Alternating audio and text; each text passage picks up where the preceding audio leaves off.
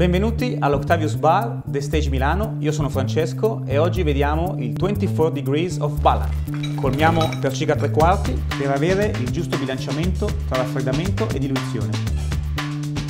Scotch Whisky, 50 ml. Un vermouth contemporaneo, 25 ml.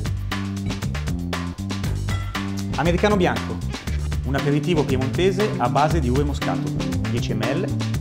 Ferrochina, un liquore della tradizione, poche gocce. Maraschino, un grande classico, poche gocce. Un drink elegante, rotondo, ma di corpo. Poi il ghiaccio è molto importante per la presentazione del drink, grazie anche all'ice ball di Ice Cube. 24 degrees of balance. Salute!